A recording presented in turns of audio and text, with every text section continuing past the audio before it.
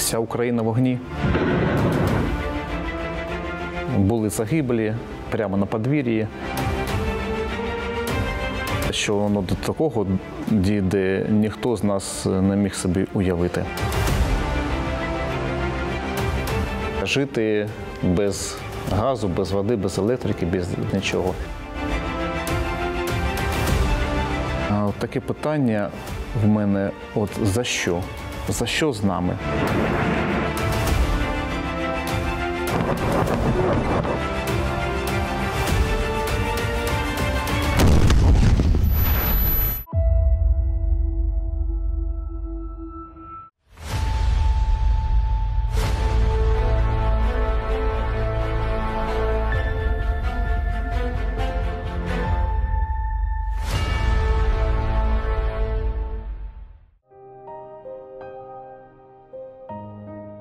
Мене звуть Максим. Е, Так вийшло, що я народився. Моя батьківщина це місто Слов'янськ. Я там виріс, здобув освіту, одружився.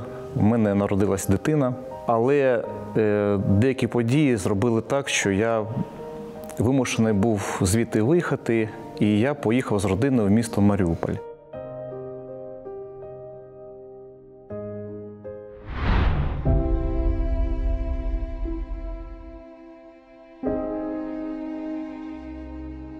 Я виїхав зі Слов'янська через е, військові дії, тому що я на свої очі бачив, е, як захоплюються міста, як е, міста паралізуються, як людям становиться страшно, вони гублять сенси свого життя і чекають якогось виходу. Е, Це була весна 2014 року. Місто було ну, паралізоване. Ну і звісно ж, коли ми бачили військову техніку, ми бачили цих загарбників на тоді ще е, терористів. Цих дуже було неприємно, дуже було ну, страшно. У мене, до речі, в Маріуполі ще е, тітка живе, і ми вирішили пожити у неї в Маріуполі. І я там пропрацював, прожив оці 8 років.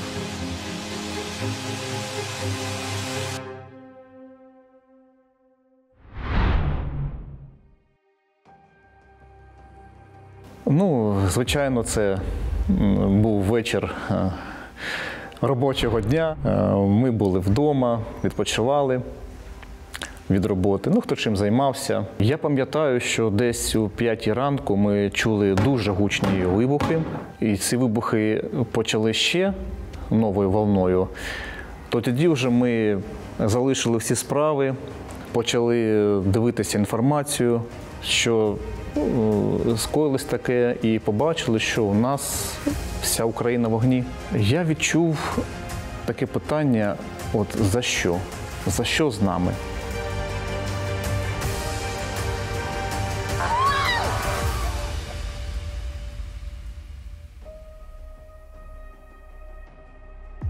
Ми опинились вдома, е, тому що там дитина була, згуртувались і передивились все, що у нас є. Документи, е, перевірили наявність е, там газу, води, електрики вдома. У нас почали серйозні артилерійські обстріли. По нашим будівлям, по нашим подвір'ям були дуже сильні ну, прильоти, артилерії, а також із градів влучання були в наші будинки. Були, звісно, вже і ну, люди, яким не пощастило, були загиблі прямо на подвір'ї, були розкорочені автівки, вибиті шибки. І ось якогось, якогось дня, це було, мабуть, 5, 5 березня. Е, Пройшла інформація напівофіційна, що з Маріуполя буде якийсь гуманітарний коридор, що можна виїжджати. Переїхали ми в центр міста, якраз е, у район, де був драмтеатр. І ми кожен день е, ходили на подвір'я цього драмтеатру до його фасаду е, для того, щоб якусь інформацію більш-менш офіційно узнати. Там була спортивна школа, вона називалась Прометей. Ми брали ту воду, яка там в тому басейні. Дуже багато було стареньких людей, дуже багато було з дітьми, з тваринами домашніми. І одного дня хтось е, із наших е, людей сказав, що є можливість виїхати з Маріуполя е, не дивлячись на, на, оті, на військові дії. І цілим кортежем автомобілів ми виїхали в напрямок, у напрямок Мілекіно.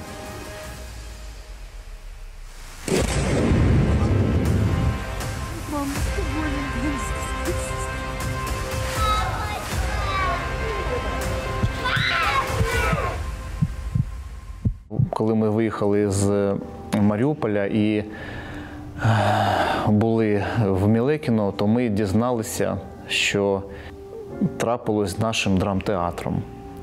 Оце для мене дуже сильно вплинуло, тому що я бачив, що там не було ніякої, ніякої військової техніки. Там були просто люди, які чекали якусь вісточку, інформацію, якусь чекали.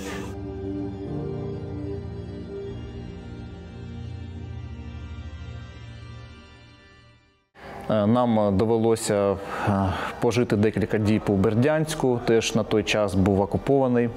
Було проблемою виїхати з Бердянську, тому що там дуже ретельно перевіряли. І перевіряли чоловіків на наявність якихось ознак належання до військових. Все це е, отак от одне й те саме через 10-15 хвилин. Мене роздягали, так. Да. Роздягали, шукали в мене якісь тату, якісь інші признаки, ознаки. 26 березня ми вже очутились, опинились у Запоріжжі, в цьому вашому е, приємному, привітному місті.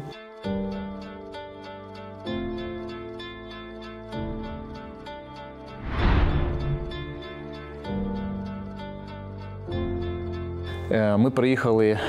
Спочатку нас е, зареєстрували волонтери, і ми поїхали до своїх родичів, які у нас тут е, живуть. Пожили ми в- них небагато, тому що ми знали, що є, є прихисток для біженців, е, особливо тих, хто працював на підприємствах Мідінвесту. І таким чином ми опинилися в гуртожитку.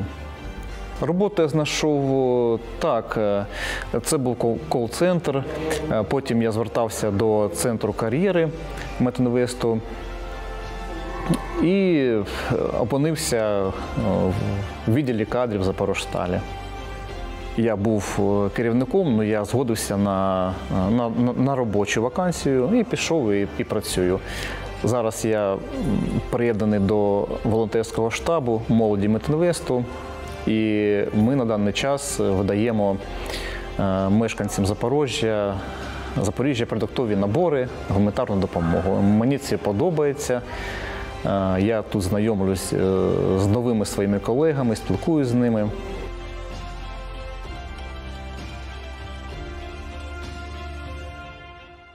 Я би хотів би, щоб результатом цієї війни було те, що наша країна переможе наразі, згуртується, і що вона покаже всьому світу, що ми цінуємо самі себе, цінуємо свою свободу, цінуємо своє життя, цінуємо життя інших людей, і що ми будемо робити майбутнє своєї країни, своїх дітей, своїх поколінь гідною нормального життя в дуже близькому майбутньому.